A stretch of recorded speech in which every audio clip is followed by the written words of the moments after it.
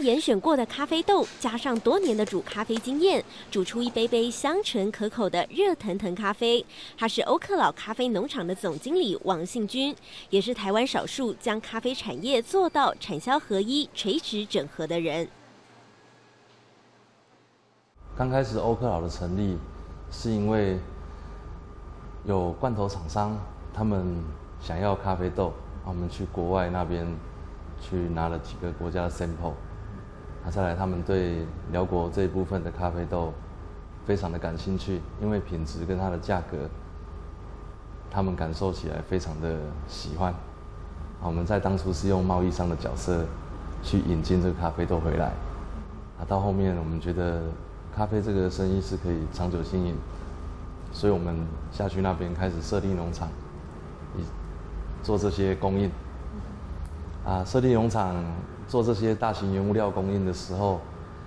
我们做了几年以后，发现说，其实大型原物料供应商，并不是说像我们这种小资本额那么好做，我才回来台湾设立店面。那设立店面以后，才开始。欧克劳的门市才开始下去经营，这样。为了开拓品牌，增加市场占有率，王信军从原本咖啡生豆供应商转型设立门市。但咖啡市场竞争如此激烈，王信军的优势在于拥有辽国占地五十八公顷的咖啡农场，所栽种出多达七八十种的咖啡豆品相。在原物料成本较低的情况下，以一杯十五元的低价促销方式抢攻咖啡市场。价格 OK 了，这边喝起来跟一般专业的咖啡咖啡店，就咖啡咖啡秀那种的咖啡专卖店的话，这边是比较划得来，而且产品多样化这样子。外面走过去就闻到一股很香的咖啡味道，然后呢又看到价格非常的低廉，那就跟着朋友进来享受一下这样子的一个下午时间。靠着平价与多元化产品吸客，欧克老位在台中太原区的第一家门市，每天平均来客数高达五六百人。我这个模式是属于说要跟客户做非常强烈互动的一个模式，所以一般都是选在社区经营、社区密集度高一点的、人口密集度高一点的社区，是我比较想要选择的地方。当然，商业区也可以。因为如果社区型的区域的话，他卖的咖啡豆豆子就会比较多，杯饮的部分就比较少。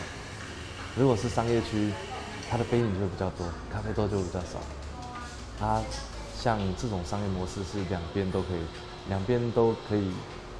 让客户满足。所以说我做这个模式是最主要是让客人进来，像是类似来到一个咖啡超市。进来，你要你想得到有关于咖啡的所有的东西，我都有。琳琅满目的咖啡相关商品应有尽有。王信军就是为了吸引顾客想买器具、自己泡咖啡的欲望，来促成更多消费行为。光是咖啡器具就占整体营收五分之一，而同样也是占整体营收五分之一的，就是甜点。我刚开始经营的时候没有做甜点，都是跟别人批发。那跟别、跟外面的厂商批发的时候，发现他们甜点的稳定性非常的不够，啊，我对甜点这一块又非常的弱，啊，不过在当下我去找了几个专业的朋友，跟他们请教，再来请请一些专业的师傅下来制作一些我觉得属于比较适合我这个定位的甜点下去制作，啊，因为咖啡就已经是最便宜的。我想说，一杯好咖啡配合一个甜点，那时候定位，我想说可以在三十五块左右的话，应该会让可以吸引很多人注意。我就下去设立这样子，开发这样子的产品出来。那现在我们里面的甜点跟咖啡配合起来，大概三十五至五十块，定位都是比较很平民化的。咖啡与甜点组合，平价策略抢攻下午茶商机，满脑子都是生意经的王信军，未来还要开拓国际市场，在中国大陆及韩国布局。台湾的咖啡流行风气流行是到超商开始有咖啡机现磨咖啡开始，这量就逐逐年的都以二十五 percent，每年都是二十五 percent 上去，一直一直成长。不过其实，在韩国还是泰国、马来西亚，他们的咖啡咖啡的量其实原本就比台湾还要多了。好，我一直在想说，台湾这个模式可以，国外的朋友一直邀请我过去，跟他们参与，以及说协助他们下去经营这一块。啊，我在这一块也非常感兴趣，我觉得应该非常有竞争力。